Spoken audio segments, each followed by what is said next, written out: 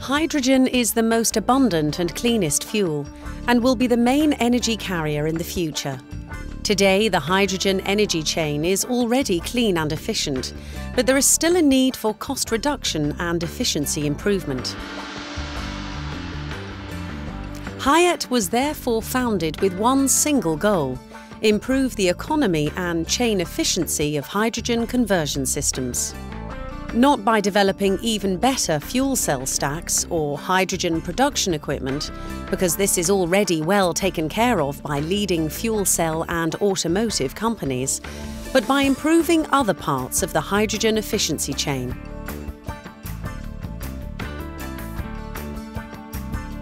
Through intensive well-to-wheel analyses, we have learned that a large part of the primary energy is not lost in the fuel cell systems or in the hydrogen production system, but in other parts of the well-to-wheel energy chain.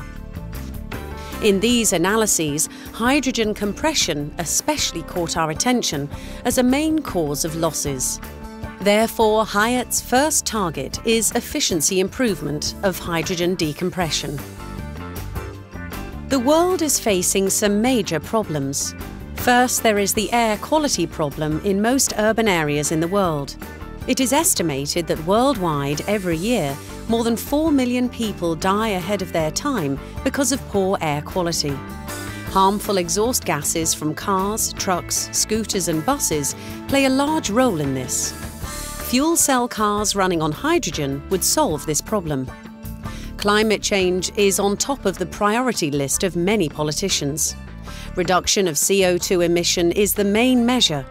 Hydrogen and fuel cells can contribute in different ways. Compared with the whole well-to-wheel chain, fuel cells operating on hydrogen are the most efficient chain, even more efficient than the well-to-wheel chain of battery electric cars. Higher chain efficiency means less use of fossil energy sources and less CO2 emission. With efficient pre-combustion separation and CO2 sequestration, fuel cell cars can even achieve zero emissions at minimum cost. We deplete our fossil resources in order to produce petrol and diesel.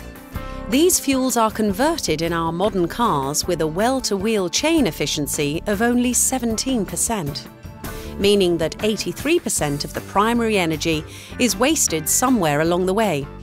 Improvement of chain efficiency is necessary. Fuel cell cars running on hydrogen can have a well-to-wheel chain efficiency of 34% and more. They will not solve the problem of limited natural fossil resources, but they will certainly help to make them last longer, giving mankind time to switch to alternatives.